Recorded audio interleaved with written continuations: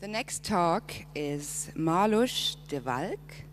She's an artist and writer from the Netherlands.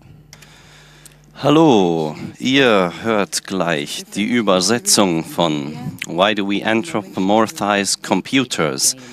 Wieso, anthropomo wieso anthropomorphisieren wir Computer? Für euch die Übersetzung macht Ploy. Und es geht jetzt dann gleich los.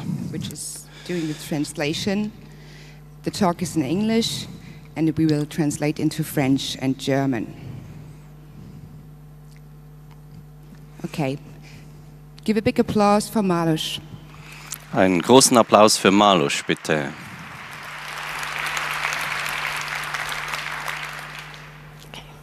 Thank you, Yatsya.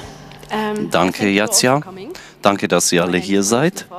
Mein Name ist Malush de Volk und ich werde über Anthropomorphisierung sprechen als Überlebensstrategie wie es funktioniert und ob es effektiv ist. Wenn ich über Big Data spreche, das ist so ein Schirmbegriff, dann ist mein Fokus auf den sozialen, nicht auf den technischen Schwerpunkten und auch auf äh, der Forschung darüber und Datenberge wie zum Beispiel von sozialen Medien oder Kreditkartendaten, die da analysiert werden. And now my slides are frozen. Oh, leider sind bei mir die Slides eingefroren. Oh gosh. Oh oh.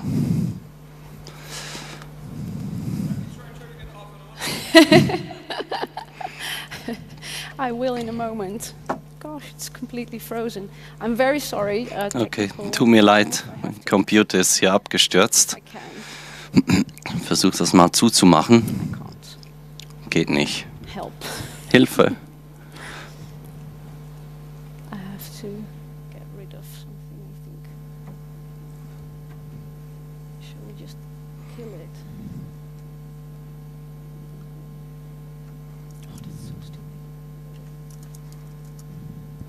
Yes, this first slide is already saying it. Computers are people too, so. Tja, diese erste Slide sagt schon, Computer sind auch Leute. Vielleicht sollte ich mir einfach einen Kaffee holen und nachher funktioniert's.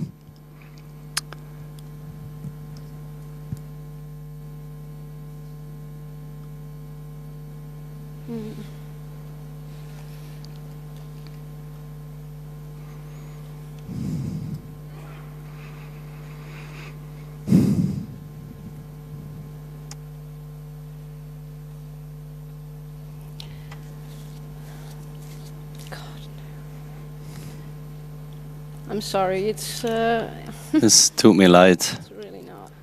Es geht wirklich nicht.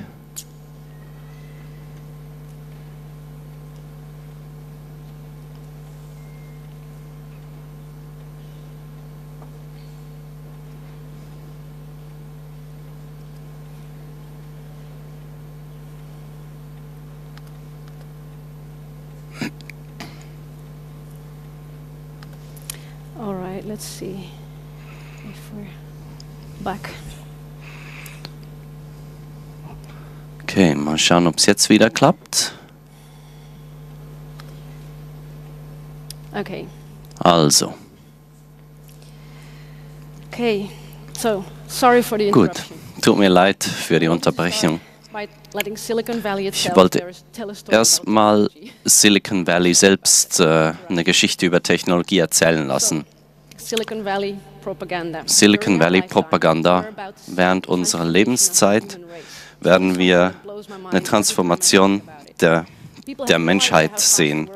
a erstaunt mich immer wieder. Normale Leute haben keine Ahnung, wie schnell sich die Welt verändert und äh, ich will euch ein bisschen Gespür werden, wieso auch dieses Mal, dass es anders ist, diese Dekade nicht das gleiche ist wie vorher, weil sondern eine sehr, sehr außergewöhnliche Dekade in der Geschichte der Menschheit. Ähm, also das schnellere, billigere Werden von Rechenleistung ist praktisch eine Naturgewalt. Das, deshalb äh, werden wir in diese Generation des Überflusses kommen. Die Zukunft wird sich nicht äh, um sich selber kümmern. Amerikaner schauen nach Kalifornien und wenn man nach Kal in Kalifornien fragt, wo der Pro Fortschritt herkommt, dann sagen sie aus der Bay Area. So. Mein Ziel ist es, äh, Komplexität zu vereinfachen. Nimm Internettechnologie und kreuze es mit anderen Dingen. Und ich denke, es gibt zwei Pfade für Menschheit in Zukunft. Erstens, wir bleiben die ganze Zeit auf der Erde oder machen was anders. Ich habe hier kein äh, Untergangsszenario, aber ich denke, es wird trotzdem passieren. Äh, die Lösung dazu ist ähm, halt, die Menschheit auf mehrere Planeten zu verteilen. Wir, wir sollten äh, die Ansprüche höher setzen. Und ich brauche meine Ressourcen, um die nächste Generation von äh, Leuten äh, weiter Startups gründen kann, so wie unsere Generation. Und ähm, wir wollen auch in Zukunft weiter mehr Energie pro Person verwenden können. Ähm, Tod ist unfair. Also die größte Form von Un Ungleichheit ist zwischen den Leuten, die leben und zwischen den Leuten, die sterben. Und ich mag Genetik, weil das ist eigentlich nichts anderes als Coding. Und äh, wenn ich einen Code habe, dann will ich den knacken. Und thermodynamisch gesehen gibt es keinen Grund, wieso Leute überhaupt sterben müssten. Und das will ich mir anschauen. Es, ähm, Leute sterben an äh, Krankheiten, die eigentlich verhindert werden könnten. Und das ist unfair. Es ist möglich, ähm, den Tod optional zu machen durch Technologie. Ja, unsere Körper sind Informationsverarbeitungssysteme. Ähm, wir sollten eigentlich Superkräfte erreichen können, wie in den Marvel Comics beschrieben. Wir sollten auf den Moden von Jupiter leben können und ähm, dort äh, Energie harvesten aus der Gammastrahlung der Sonne. Und und unsere Geist über mehrere Körper verteilen und so weiterleben. Wir sind jetzt in der ersten Stunde von Tag 1. Es gab nirgends mehr Chancen als jetzt. Den, der größte Teil der Technologie der nächsten 25 Jahre ist noch nicht erfunden worden. Wir werden die Welt übernehmen, ein Roboter aufs Mal. Ähm, ich frage euch, was wollt ihr denn?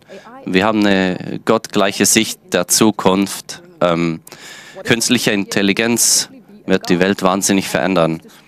Ähm, die Idee muss sich verteilen vor der Technologie. Ähm, wenn du das glaubst, dann äh, halte ein Gespräch mit jemandem, hilf ihn zu verstehen. Ähm, wenn ich dieses Denken in meinem Kopf hatte, dass es Smart Machines geben wird, dann werde ich meinen Roboterhund sehr nett behandeln. Aber am Ende haben wir vielleicht einfach eine Spezies geschaffen, die über uns ist. Ähm, ich werde stärker sein als jede, jede Änderung, die wir herbeiführen können in der Welt. Ähm, wenn, wenn ihr die AI nicht äh, besiegen könnt, dann ähm, nehmt daran teil. Wir können diesen Krieg nicht gewinnen durch Ändern von menschlichem Verhalten. Aber Menschen machen Fehler und wenn wir sollen nicht so tun, dass wir die Entwicklung von künstlicher Intelligenz zurückhalten können und stattdessen sollten wir uns anstrengen, äh, das wie eine geliebte äh, Kreation von uns zu akzeptieren. Wenn, wenn man erfindet, dann ist man disruptiv. Fortschritt passiert, weil es gibt einen ökonomischen Anreiz, dass Maschinen für dich arbeiten. Zum Beispiel künstliche Intelligenz. Das ist eher ein breiter, marketinggetriebener Begriff äh, geworden, aber das ist okay für mich. Wichtig ist allerdings, was Leute darüber denken. Es geht hier um die Politik der Technologie. Der Untergang unserer Welt könnte am Willen einer einzelnen Person abhangen. Also wir wollen, dass unsere Welt äh, sicher ist vor Kapitalismus. Alle einzelnen von uns. Silicon Valley CEOs sprechen ähm, über diese Dinge hier. Also lassen wir uns nicht Mathematik regulieren. Also das ist ähm, über die europäische Datenschutzrichtlinie. Dort steht, autonome Autos sollten als Autos reguliert werden. Und äh, wichtig ist, dass das insgesamt die Anzahl Unfälle reduziert. Und wie das gemacht ist, soll legal sein. Das ist im Wired Magazine 2008 zum Beispiel. Google hat eine AI geschaffen, die äh, besser ist, als was Menschen können. Und in DeepMind ähm, haben wir AlphaGo geschrieben, ein System, das tausende Jahre von, von menschlicher Intelligenz verdichtet in ein Programm. Und Microsoft hier entschuldigt sich äh, für die schlimmen Tweets von Tay. Ähm, das steht nicht für wer wir sind und unsere Werte. Und im PC World Article steht hier, AI hat dieses 3D-Bild gedruckt von Rembrandt und es ist äh, verdammt gut. Werbefirmen und wie zum Beispiel J. Walter Thompson haben 3D-Bilder gedruckt ähm, von 400, über 400 Bildern von alten äh, Klassikern und die wurden, sind so gemacht wie von einem Computer mit einem 3D-Drucker. Es ist klar, dass die Programmierer auf diesem Projekt arbeiten, sind gut mit Computern und äh, diese 350 Rembrandt-Bilder wurden von einem Team aus äh, Wissenschaftlern gemacht. Und also der Computer hat das geschaffen, aber da gibt es keine starke künstliche Intelligenz dahinter. Nur einfach sehr schlaue Automation. Wir können das anders anfangen, anfassen. Wir können diese Computer anthropomorphisieren also die menschenähnliche Fähigkeiten von Maschinen. Ich denke, wir haben zwei Überlebensstrategien hier. Erstens, ähm, es, ich, wir haben hier die Wurzel der Anthropomorphisierung und wir entwickeln eine generische Sprache aus sozialer Sprache und äh, der Zweck der sozialen Sprache ursprünglich war Grooming. Und das hat dazu geführt, dass wir die Welt in sozialen Begriffen äh, erklären. Also wenn man auf der Jagd ist, die Anthropomorphisierung von Tieren hat dann einen großen Vorteil. Also es zeigt durch wir sehen uns diese Anthropomorphisierung an und äh, dass das, sich das nicht viel geändert hat. Durch verschiedene ähm, Experimente schauen wir an, wie Leute, was für Leute, wie die Beziehung zu Computern oder Fernseher ist. Und die Leute sind nett zu Computern, schreiben ihnen Persönlichkeit zu, äh, Humor und zum Teil sogar Geschlecht.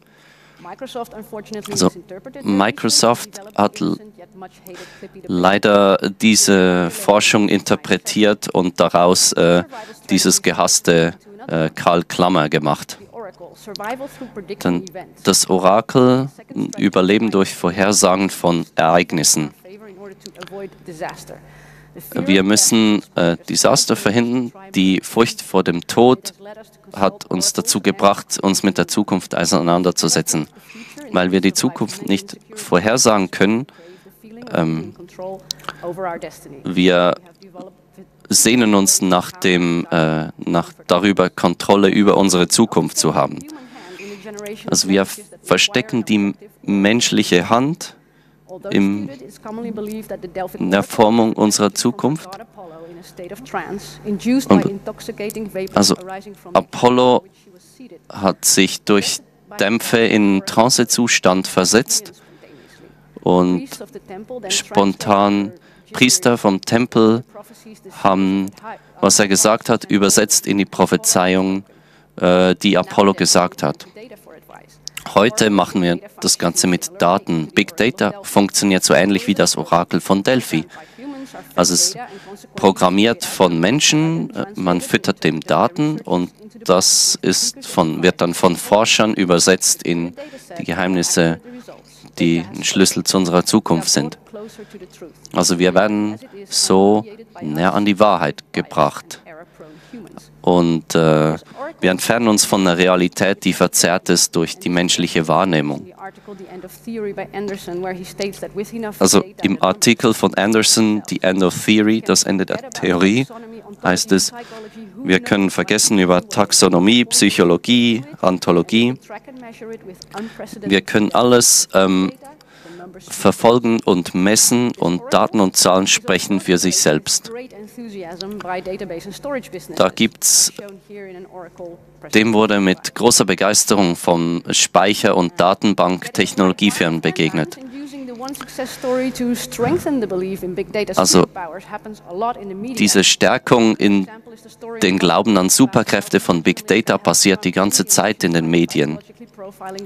Ähm, hier wird die ganze Bevölkerung der USA psych äh, psychologische Profile über die erstellt. Ähm, die Geschichte ist ja die, dass ähm, diese Software mehr weiß über dich als deine Mutter. Oder halt, ähm, was man liked auf Facebook, könnte mehr verraten, als eine Person über sich selber weiß. Also Cathy O'Neill, Autor der Weapons of Mass Destruction, hat gesagt, hier, es war nicht nur Trump, alle haben das gemacht. Hillary hat das gemacht, Obama hat diese Technologie auch verwendet. Aber halt ähm, Outlet, Alt-Right Medienfirma Breitbart hat das auch gemacht. So, dieser Artikel von Motherboard äh, beschreibt auch, ähm, was für einen Einfluss Cambridge Analytica hatte auf die Politik. Das sollte auch ein Warnzeichen sein an uns. Also, das ist asymmetrisch äh, die Information, die verfügbar ist in unserer Demokratie. Crawford hat den Glauben an Big Data so beschrieben, den, der Glaube, dass große Datensätze ähm, eine höhere Form von Intelligenz sind und Einsichten erlaubt. Also dieser Mythos wurde schon im 1984 äh, zu zerstreuen versucht. Ähm, also wenn, wenn man ein Excel-Spreadsheet hat und das von einem Computer erstellt wurde, dann glauben die Leute, schenken dem mehr Glauben als wenn es von Mensch erstellt wurde. Me bei menschlichem Verhalten wird angenommen, dass keine Fehler gemacht werden. Tim Harford beschreibt auch diese vier Grundsätze von Glauben. Erstens mal unheimliche Genauigkeit. Zweitens, ähm, dass Kausalität von seinem Thron gestoßen wurde wenn man nicht weiß, wieso Dinge korrelieren. Äh, drittens, Sampling Bias spielt keine Rolle, bei, wenn man viele Daten hat. Und viertens, mit genug Daten sprechen die Zahlen für sich selbst. In Datensets äh, gibt es halt viele irgendwie komische Muster. Also Cherry-Picking ist jetzt auf einer industriellen Skala angewachsen. Also diese Data Mining-Techniken können uns äh, eindeutige, aber instabile Resultate bringen in großen Datensets. Was komisch ist über diese Mythologie, dass Datensets eine höhere Form von Intelligenz bringen, ist paradox. Also die Leute haben das Gefühl, es ist objektiver, genauer, aber das ist nicht so. Also dieses Orakel zu beleidigen hat weitreichende Konsequenzen. Also es dehumanisiert die Leute und wenn wir uns aus dieser Gleichung entfernen, nur dann können wir sehen, was sie bedeutet. Es ist nicht mehr möglich, mit dem Output von Big Data Analytics zu äh, sprechen, weil es ist ähm, äh, verzerrungsfrei und weil angeblich die Algorithmen dahinter so sind. Aber tatsächlich sind die sehr opak. Also vielleicht äh, findet ihr euch einfach wieder in der falschen Kategorie klassifiziert durch so einen Algorithmus. Und ihr werdet allenfalls äh, von gewissen Teilnahme an der Gesellschaft auf gewisse Art ausgeschlossen. Das ist noch das optimistischste Szenario. Also wieso sind wir so verliebt in, in Daten geworden? Der Wert von Information hat sich ziemlich verändert im letzten Jahrhundert. Das hat angefangen mit Cybernetics und Informationstheorie in den 50er Jahren. Da ging es darum, dass Information das Werkzeug ist, um ein beliebiges System kontrollieren zu können. Hier ist Inus Math, der hat eine Maschine erstellt für einen PR-Stunt und leider wurde das hier nie veröffentlicht, weil die, äh, die äh, Journalisten gesagt haben, das hat menschenähnliche Züge.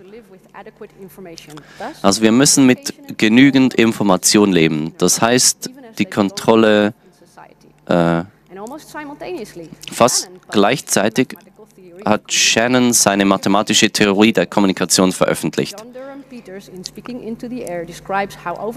Gunder und Peters, die über Radio gesprochen haben, ähm, die haben Signal mit äh, Resultaten verwechselt. Also Alan Turing und Bertrand Russell haben gezeigt, äh, indem sie das Entscheidungsproblem analysiert haben, dass viele Funktionen nicht äh, logisch repräsentiert werden konnten oder mechanisch repräsentiert.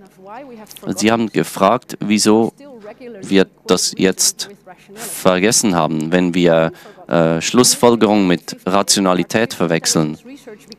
Also künstliche Intelligenz Research ähm, Simon, der das Human Problem Solving Papier geschrieben hat, sagt, in den 80er Jahren wurde, wurde Information als noch wichtiger angesehen. Ähm, physische Dinge wurden vom Wert äh, der Information äh, übertroffen. Oh. sorry. Um, yeah. This is an image of, uh, dieses Bild hier ist eine mittelalterliche Zeichnung, in der die Humore, also diese Flüssigkeiten im Körper, stellen die Essenz unserer Intelligenz dar. Das ist also eine Metaphor über unsere Intelligenz. Automaten mit äh, Federn und, und Zahnräder haben im 15. Jahrhundert diese Theorie übernommen. De, die Seele und äh, der Geist waren immaterial und als außerhalb vom Körper angesehen. Und so etwas machen wir immer noch. Das Gehirn wird als was Physisches angeschaut, ein Informationsverarbeitungssystem und das die Realität abbildet. Und von da der Sprung zu Big Data ist nicht so groß. Also wir haben den Kreis wieder geschlossen. Wir sehen den, das Gehirn als eine Maschine. Also, Überlebensstrategien, Anthropomorphisierung von Orakeln und also das erste erlaubt uns empathisch zu anderen zu sein. Das zweite hat uns durch die äh, Zeitalter der Erde vertröstet. Also wie funktioniert das für uns? Wir sollten besorgt sein. Mit dem Damoklesschwert über unserem Kopf ähm, find, findet demnächst eine Kette von Katastrophen statt, die die Menschheit bedroht. Die Ressourcen der Erde werden ausgehen. Ähm, es, wir machen etwas, das separat ist von unserem Körper. Also menschliche äh, Bewusstsein ist so ähnlich wie Computersoftware. Wieso können wir das nicht übersetzen? Ray Kurzweil hat das Gefühl, demnächst können wir einen menschlichen Geist in einen Computer runterladen. im, im Retten der Zivilisation hier wird hier künstlich die Hardware des Planetes mit der Erde und äh, Ozeanen getrennt von den Daten. Das wenigst optimistische Zukunftsszenario ist, ähm, dass wir den Mars kolonisieren. Wir müssen Leben auf dem Mars möglich machen in unserer Lebenszeit. Eine weniger extreme Version hier zu fliehen ist, dass schlaue Wissenschaftler einen Weg finden, unsere Probleme zu lösen, wie zum Beispiel äh, die globale Erwärmung. Vermutlich müssen wir unseren Lebensstil nicht ändern, sagt uns die Politik. Ähm, diese Apathie ist die wirklich angebracht. Also Information ist nie ohne Träger. Hm. Aus Konfliktzonen, in denen es wieder Sklaverei gibt, zum Beispiel im Kongo oder Goldminen in Ghana. Diese Mineralien, die es braucht, kommen aus regulierten Zonen. Das hier ist zum Beispiel ein Schlackesee in Bautau. Ähm, Elektroschrott wird äh, in unregulierte Länder entsorgt und Serverfarms haben den gleichen CO2-Ausstoß wie äh, die Flugindustrie heute. Was passiert, ist, dass die Erde wärmer wird und äh, die Forschung interessiert sich mehr für Messungen als die Auswirkungen. Die, diese Dinge haben wir eigentlich schon in den 80ern herausgefunden, aber äh, das hat zu neuen Präsidenten geführt. Also diese Dinge haben mehr Einfluss als äh, wissenschaftliche Fakten. Äh, wissenschaftliche Fakten werden bewusst ignoriert. Also funktioniert diese Überlebensstrategie. Die Mythologie heißt, wir können uns selber aus der Gleichung entfernen, um uns näher an die Wahrheit zu bringen. Das äh, versteckt vor uns aber die Probleme, in denen wir uns befinden. Ein Organismus verknüpft mit seiner Umgebung, abhängig von seiner Umgebung, wie dem Planet. Wir können uns nicht daran hindern, die Dinge um uns herum zu anthropomorphisieren. Und das ist okay. Das macht uns zu Menschen. Es erlaubt uns, unsere Umwelt mit Empathie zu studieren. Das Problem ist, das hat nichts mit Realität zu tun. Das Gehirn scheint in einem Loop äh, gefangen zu sein. Diese Metaphern sind so eingebettet in unsere Kultur und wir müssen Awareness schaffen darüber. Wir müssen Menschen als maschinenähnlich sehen und Maschinen als menschenähnlich dann ist es wahrscheinlicher, dass wir nicht so verzückt sind von dieser magischen Technologie. Es gibt keine starke AI, nur sehr, sehr schlaue Automation. An diesem Punkt sind die Maschinen einfach Stellvertreter für Menschen und ihre, ihre Ziele. Wie Kate Crawford und Meredith Whittaker gesagt haben, ähm, Einsätze von AI, wie zum Beispiel bei den US-Wahlen oder bei Brexit, werden emotionale Zustände, wie zum Beispiel äh, depressive Teenager, verwendet. Und das könnte überschatten den, das Interesse der Allgemeinheit ähm, und allen, die betroffen sind. Ich empfehle euch, das zu lesen, aber da gibt es noch einige Fragezeichen, habe ich dazu noch. Social Nets and Human Resource Distributions und vor allem beeinflusst werden Frauen und Minderheiten, ethnische Minderheiten. Wir müssen die Fairness äh, von diesem System beurteilen können. Diese, die direkt beeinflusst werden von automatisierten diese von, vom Einsatz von AI äh, beeinflusst werden, haben fast nie eine Rolle darin, diese Systeme zu designen.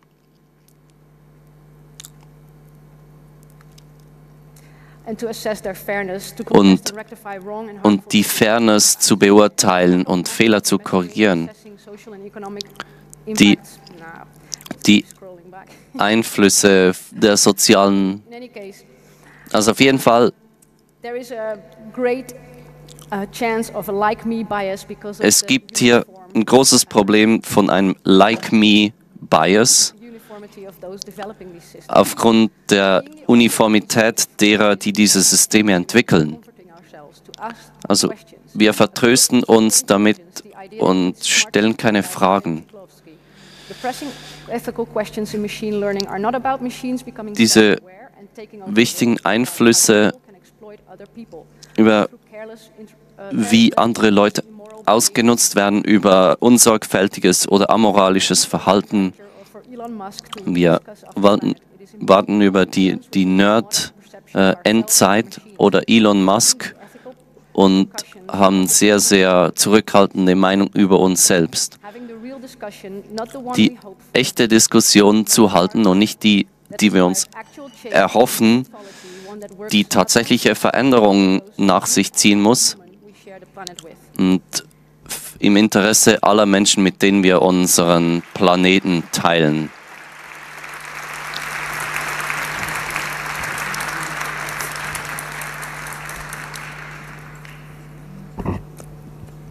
Thank you, Malush. Danke, Malush. Haben wir Fragen? Wir haben eine Minute. So thank you again. Give a big applause again. Danke. Nochmal einen großen Applaus bitte.